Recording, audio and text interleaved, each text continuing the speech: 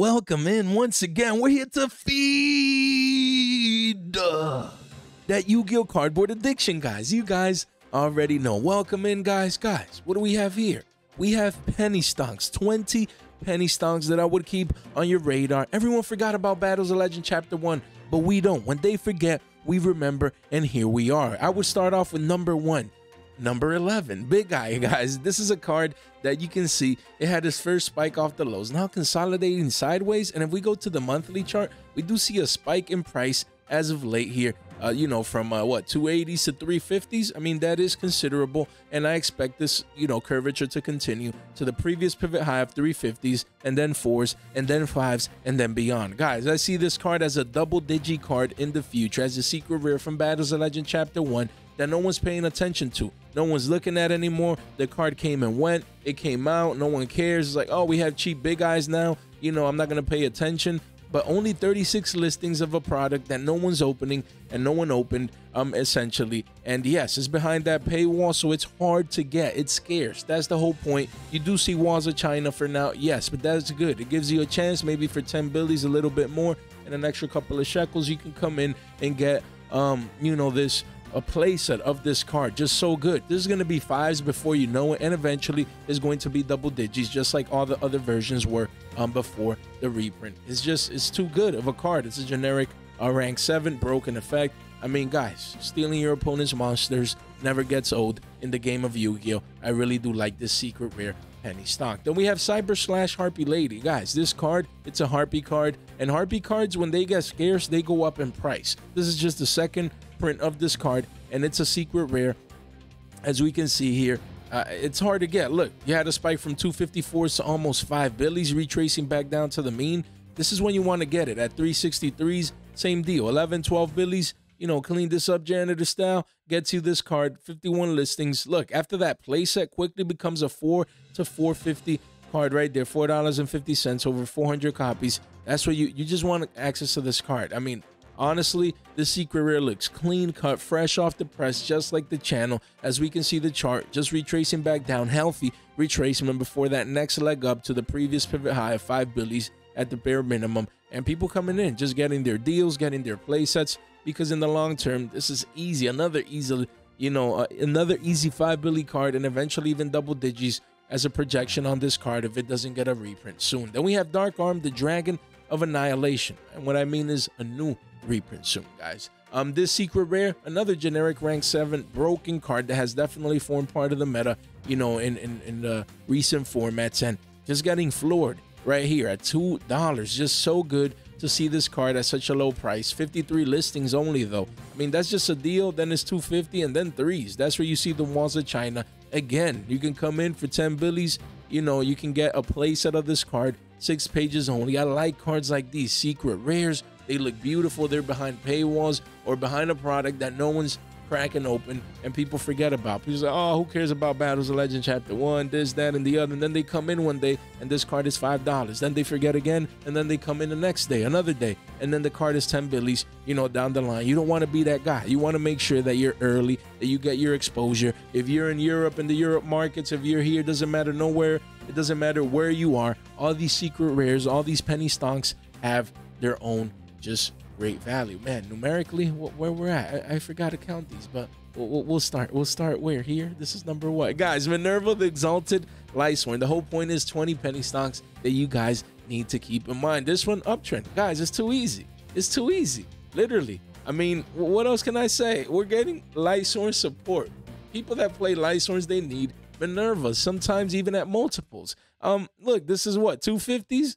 This card was cheap. This card was a billion some change. You can clearly see the uptrend here on the chart spiking strong to making a new local high at 227s. And then you have one deal, but then it's a new all-time high for this card. Um, a lot of ones and twos. The ones are at $3 a pop. 35 listings, four pages only.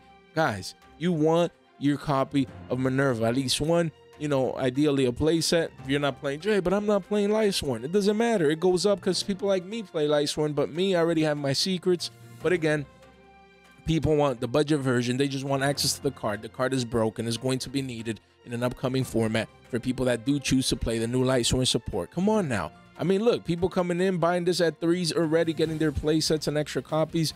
guys, make sure you have that exposure right now. Four pages only. Yes, a lot of copies, but that gets eaten like that just quickly because the masses come in. They want to play light sworns just like your boy. All these Edison players that play light sworns like your boy Jey. And then this card goes from two, you know, two and two and a half to boom, double up, up 100%, you know, a $5 Ultra. You don't want to be that guy, you know, buying at five Billy's. Guys, we have Destiny Hero Malicious. Man, I want to know what's one, two, three, four, five, six, seven, eight. Man, I'm bad. Is that eight? Jesus, 9, 10, 11, 12, 13, 14, 15, 16. So this is number five, I think. Jesus Christ, guys. This is number five. And number five, we have Destiny Hero Malicious, guys. Ultra rare from Battles of Legend Chapter 1. Look at this strong uptrend for this card. From a Billy 42 all the way up to $2.60. Insane, insane, insane. What's going on here? 27 listings, a lot of one-ofs. Look, it's already a $2.50 card, three pages only for a card that you could get at just over a Billy. It's malicious. It's used multi-format card. It's a broken card. That's why it's always like on the list and cycling in and out of the ban list because it's just too good. It's too good. Heroes play, a bunch of decks play. It's just such a great card that you want access to. And number five here, great penny stonk still. I think this ultra is going to be three to fours sooner rather than later. That's just a conservative, a short-term goal. Only three pages. Yes, you do have a couple of walls here and there, but hard to get, guys. Make sure you guys pick these up. At number six, we have Evilswarm Exciton Knight. Again, from Battles of Legend, this card was 7 eights, pushing almost double digits before the reprint came out, a billion some change, and I was just consolidating sideways, providing a couple of deals, but the walls are at $1.69. This is when you want to buy because you don't want to be that guy starting here or even above two billies. You want to get it as cheap as possible because this card is a $5 ultra rare. If it doesn't get reprinted, you know, hit on the list, there's no reason to hit this. But you know, or something drastic happens, this is going to be a $5 card. So you want to come in and take advantage of the possible 3x. You know what I mean? 2.5, 3x um, on this card. I mean, there's no way that I see this card and it's not a $5 card down the line. It's just too good. It's used by many decks. It's a rank, a generic rank four broken effect, guys. So you know, right now, take advantage of these massive of this mini wall and then the massive wall of China under twos before eventually this card is five Billies. At number six, is this six? Quick launch. Man, I'm bad, guys. I'm bad with numbers, guys. Here, um, at about a Billy. At about a Billy. You know, I'm gonna need to create like a counter or something. You know, uh, every time I move from one card to the other, I- I'll create something because I'm having fun with these numerical videos, man. Hopefully, you guys are getting entertained as well, guys. Quick launch, just such a great card. Um, Dragon Link never, never, it always has like a, a, random top in these events, uh, or at least in, at the regional level. Look, 47 listings, a lot of ones and two ofs. Uh, this card is another one, another ultra rare that is a penny stock today that can become a five billy card tomorrow. Most of these cards that we've been discussing today, five dollars is that conservative target, you know, giving you that 2 3x potential in many of these penny stocks. That's why I love discussing penny stocks because I love being able to multiply your money with cheap cardboard that easily and then sometimes some cases that quick. Guys, this is a card that yes, it got reprinted, but it's not it didn't get any easier to get behind the Battles of Legend Chapter 1 product. I like this, man. If you can get these at around Billy's, Billy's and some change, there's going to be two Billies before you know it, possibly three to fours down the line. And five is that long term target. And yes, right now, compared, that's what, three, 3.5x, man? Easy money. Sometimes it's just too easy, guys. It just is. At number seven, guys, here. I think so. Is this number seven? We have Sky Striker Maneuver Afterburners. Guys, we're getting Sky Striker. It's just so easy sometimes. We're getting Sky Striker support. It's around the corner. What do you think people are going to do? Going to be like, what? This card is cheap? It's under a Billy? I mean, I need it. And it's ultra and it's holographic. I mean, it looks clean enough. I'm going in. And then it goes from under Billy, you know, it goes from shekels to Billies. As you guys know, that's my phrase from shekels to Billies. You want to ride that wave. You want to ride that pump. You want to buy at Shekels today and sell at Billy's tomorrow. That's the game. That's the name of the game. Look, you got a place at here, cheap. But okay, you have an RO8 right there. Boom. After that, then there's a Billy. Essentially, 50 listings only. People coming in already, getting their play sets. The masses will be coming in for this card. Mark my words. This is going to be a multiple Billy card that you can get at under a Billy here today, right now. It's easy peasy. Easy money, guys. At number eight, we have JD, man. Judgment Dragon beautiful. I prefer the silvers, but at the same time, the masses will more likely, most likely prefer the ultras. Look, had a low, uh, a new, a new high, a new pivot high. At a Billy 20, retrace back down to the Billy mark, and now respiking back up. Same deal. You have do have the walls here, I'm at a Billy 12, but then after that is a Billy 29 and then a Billy 50, guys. A lot of people will be playing and using JD, um, I suppose, in light sworns. Um, at the bare minimum at one, you know, a lot of people will be speculating um, with new light sworn builds and things of that nature. So 43 listings, that's low. That's low. Five pages only. And then again, you have the Edison angle as well. People playing Edison have a chance to get a brand new ultra rare. So that Edison demand will be uh, there for people playing light sworns in Edison format. So yeah, I see. Look at that strong curvature, the demand coming in. Make sure you guys are early, Jey. But I don't play light sworns. It's, it's guys. It's about investing. I don't play a bunch of cards that I buy. Um, and I still buy them because I know and I expect that demand to come in. And we sell into the hype, guys. At number nine, we have Neos Wiseman um, from Battles of Legend Chapter 1, the secret rare. Just getting floored, getting floored in price. That's what I love to see. I love to see charts that are floored. Interest has waned. Everyone forgot about this card. No one's paying attention. Now is the best time to come in and pick up this card. You just need to. Look, look right there. A Billy, a Billy. A lot of one-ups, guys. But the walls are at a Billy 22 already up 22% from these prices. So if you can sneak any any one of these in, it's a great deal for a secret rare that is hard to get and it will get hard to get. Only its third print and it's its max rarity, I think. So guys, don't take a don't don't uh, take this for granted. That's what I want. Don't take these deals for granted. That's what I wanted to say, guys. So the secret rare, it's a Billy today, multiple Billies tomorrow. Man, these phrases, where did they come from? The lingo, guys. Make sure you take advantage of a beautiful secret rare penny stock like this. Look, only 79 listings. Guys, at number 10, we have Gimmick Puppet Nightmare. Don't forget, you know, gimmick uh, gimmicks are getting support. So this is just broken. Look, it used to be two Billy spiked up strong to 350, retraced back down to the twos again, back down to the mean, and now getting sales again at above. Look, guys, people coming in, uh, you know, buying at above three Billies consistently. Yes, you have a couple, uh, one of, and then a five of, but after that, that's it. It starts moving already again to 350s and beyond, four pages, 37 listings only. Gimmicks are receiving uh, um, support. It's as simple as that. People are going to need this card. They're coming for it. The card is broken. Um, and uh, yeah, yeah, yeah. Yeah, yeah, yeah. And then the gimmicks is easier to make, obviously, as it's a gimmick card. And I like this, man. The potential's there easily to be a five Billy card sooner rather than later. Then at number 11 here, we have the Time Lord Secret Rare, guys. Um, no one's paying attention to this. What? That's a, a, generic Synchro 10. I like it. I like it. I mean, as a secret rare from the set, yes. I mean, you don't want to get too much exposure. You never know if it truly, you know, how how much does it go up in the future, things of that nature. We get it, but it never hurts to speculate a little bit. Look at 50 cents, 60 cents. Doesn't hurt to get a place and just have that exposure. 80 listings. You know what I like to do um with cards like these is just get a place, just get exposure you know, I go into Battles of Legend Chapter 1, we get play sets of most cards that I believe have potential of going up one day. I don't see them, you know, reprinting this again. It's just a second print, technical max rarity. I really do like this card. So we stayed at 11, right? Okay, okay. We're going into 12. Guys, destroy that like and subscribe button. Guys, we have giveaways coming soon at 4.5K right here. Don't forget, more cardboard, more than this. The closer we get to 4.5K, I'll make sure to provide the final details of the giveaway. But you, all you have to do is just subscribe. That's it. You're subscribed, you're in. That's it. Simple. One click, you're in. Ring that bell to stay tuned for our fresh off the press content and participate in our channel giveaway. None of this content is official financial advice. It's for entertainment purposes only. Link in the description down below. Join the Discord, join the movement. Don't miss out and take advantage of your $15 off to get anything over here or over there on whatnot. $15 off. Who doesn't want a $15, you know, coupon? deal, man. Make sure you guys take advantage of that. And number 12, we're going to go over some uh, Speed Duel Secret Rares. Most of these, I still think that they'll continue to go down, but I want to make sure that you guys have these in your radar because no one's paying attention to these. Oh, Speed Duel, it might be the last product. No one plays Speed Duel. No one cares about this. And, you know, in Europe, they're not even printing it anymore. Maybe they're phasing this out and yada, yada, yada. Okay, that's good for the future. Right now, you have access to this cardboard. And Dandylions, Dandies, man, guys, this is played heavily in Edison um, and it's just such a broken card. And look, look, look at it.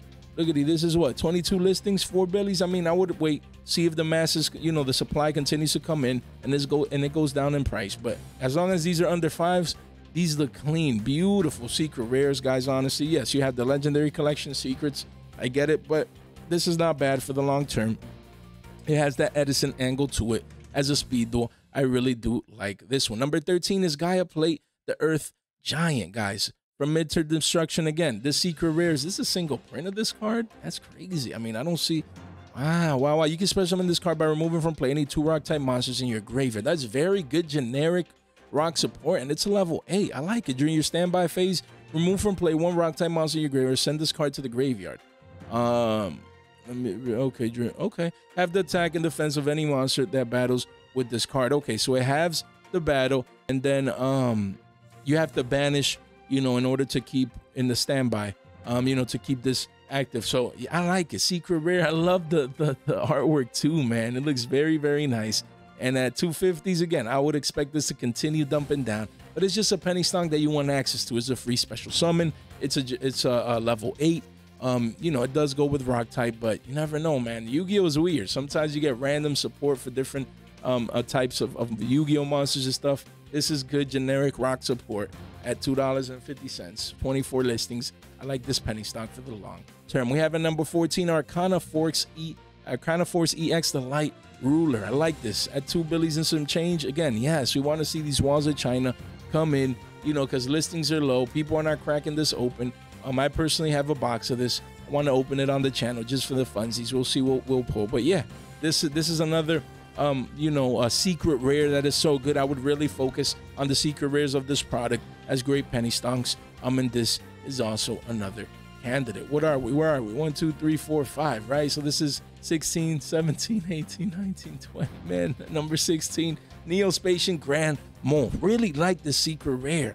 Really do, man. It's the mole. I mean, it's such a broken effect, iconic, multi-format card. Love, love it, love it. 24 listings here, $3 card. Hopefully it goes down at least to 250s. Um, three pages only. The wands are coming in, and it's a beautiful secret rare. Yeah, Jey, I don't like the stamp. It's a speed duel card, this and that and the other, but the quality control, you guys won't regret it. At number 16 is a secret rare that I would be keeping on my radar from, you know, mid-term destruction. Then at number 17, we have Elemental Hero Neos Alius. I really do like this card. Why? Because this card, it, it's an Edison. Hero B plays play sets. The demand is there. The demand is there. I love cards when they get reprinted. Yes, they had they already had secret rares. I get it. Most people will want to keep those, but these this new secret, it looks like brighter, just cleaner, just better. I need this, man. I need at least a personal playset. Even though I don't play Hero and Edison, just because the card is beautiful. It just is, guys. At $2.50, that's good. For 750 plus taxes, you can get a place out of this, especially if you're new to Edison and you're playing Hero B or whatever.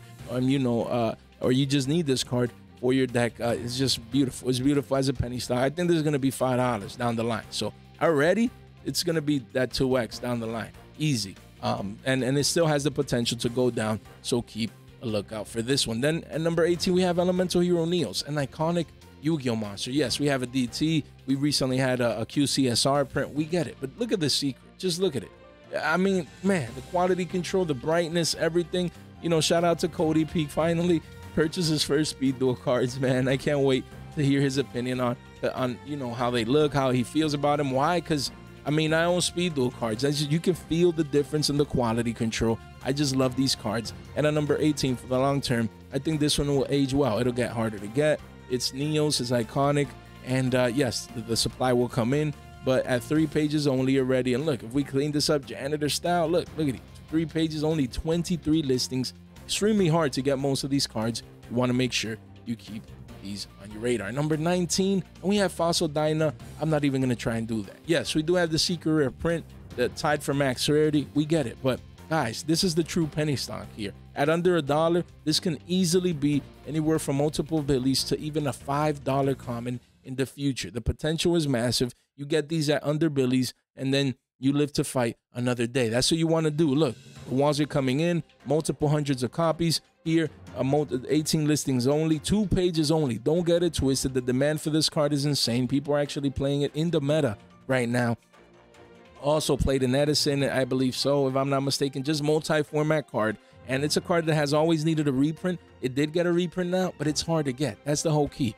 Cards that are hard to get, you want to get them now, sooner rather than later. At least get your exposure um, so that you can eat well um, in the future, guys. And then at number 20, we do have Elemental Hero Prisma, guys. I can't believe this got this got a, a, another comment. I just can't believe it. Why? Because we're gonna look here. And by the way, the secret rare looks really, really nice. Um, you know, that just got printed here. Ooh, at five to six billies. Man, today we just kept it at five billies and under. But look, I can't believe that we got two common prints here for Prisma. This one was already spiking like crazy to $2. Insane. And then it came back down to a billion some change, but extremely hard to get still. The only reason for this is because we have this common now. So come in, get this one. Just get any version, any common, anyone that you can, because it's going to be over a billy, just like its counterpart, you know, right here. It's just easy money, guys. If you want easy money, invest into this penny stock. Is easy money. Why? Yes, the masses are here, the supply is here, reprinted in Battles of Legend Chapter 1, now reprinted in Speed Duel GX, common. It feels like it's everywhere, but this is going to dry up quick because both new reprints, don't get it twisted, don't fall for the trap. Both commons, both reprints as commons come behind products that no one is cracking open. And that's the whole thing. That's the key for it. You know, these stores open them up, then you come in, you accumulate. As the masses come for a card that has endless demand, this is going to be a two to two dollars and fifty cents card soon might be even a five dollar common. You want to make sure that you take advantage of these walls of China. Don't don't don't be that guy that misses out. Guys, thank you so much for your time, for your support, for your attention. Stay fresh.